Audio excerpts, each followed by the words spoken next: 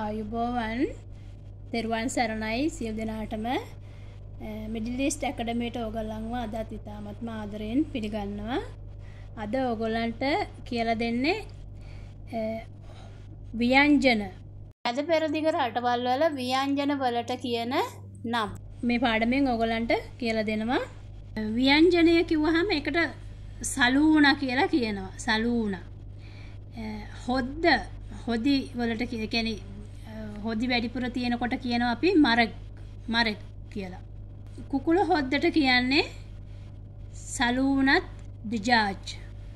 මස් හොද්දට කියන්නේ සලූනත් ලැහැම්. මාළු හොද්දට කියන්නේ සලූනත් සැමැක්. පරිප්පු වලට කියන්නේ අදස් කියන්නේ අදස් අදස් කියන්නේ පරිප්පු කියන එකට පරිප්පු හොද්දට. සලූන අදස් කියලත් කියනවා. නිකං අදස් කිව්වත් එයාලා දන්න අදස් ව්‍යංජනය හදන්ඩ කියනකොටත් අදස් සවය අදස් කියලා කියන කියන සලු පරිප්පු හොදි හදන්න කියන එක. බණ්ඩක්කා ව්‍යංජනයට කියනවා සලූනත් බාමිය. කලවම් එලබලු හොද්දට කියන්නේ සලූන සලූනත් හොදාර්. එකැන මෙහි හැම එලබලුවක්ම දාලා එලවලු වර්ග ගොඩක් දාලා එකට එකට හදන ව්‍යංජනයට කියන්නේ සලූනත් හොදාර්.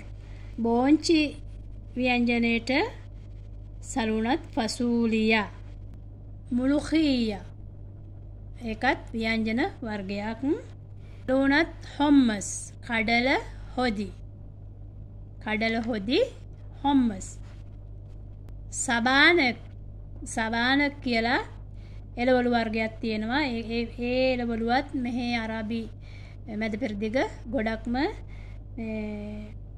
කට්ටිය කණ්ඩ කැමති එළවලුව. ඔයාලාට අද කියලා දුන්නේ මැද පෙරදිග භාවිතා වෙන හොදි වර්ගවල ව්‍යංජනවල නම් වර්ගයක් නම් කිහිපයක් ඉතින් ඔයාලට මේකත් ප්‍රයෝජනවත් වෙයි වැදගත් වෙයි කියලා මං හිතනවා. මේ වීඩියෝ එක නවත්තනවා. අපි ගිහිල්ලා එන්නම්. ඔයාලා සියලු දෙනාටම තෙරුවන් සරණයි. පරිස්සමෙන් ඉන්න සියලු දෙනා.